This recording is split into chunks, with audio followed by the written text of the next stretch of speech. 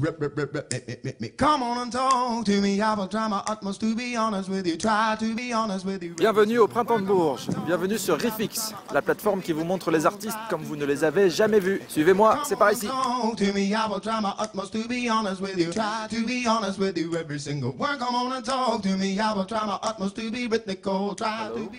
Hello. It would be in Norwegian, it would be Rifex. Uh, in French, I would um, assume it's uh, My name is Bernhoft, and I, uh, I come from Norway. And I play uh, music that I think largely is inspired by 60s and 70s soul music.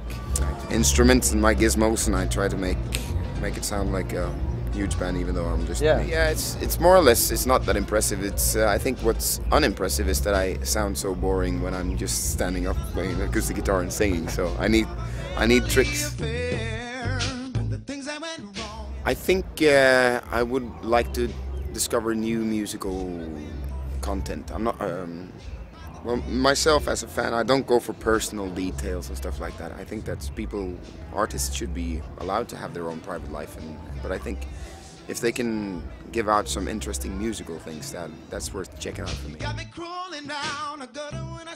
Yeah, I think I was I was at a concert with uh, um, a jazz drummer called, called Roy Haynes. He's one of the greats. I mean, he's he's very old now, but around 10 years ago, I was with a concert. He was playing with a, a pianist called Danilo Perez from Panama and a bass player called John Patitucci. There was the, just the three of them.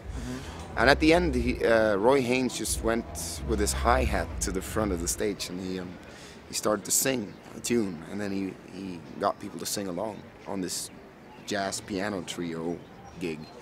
And people were singing along, and, and it was just, just so beautiful.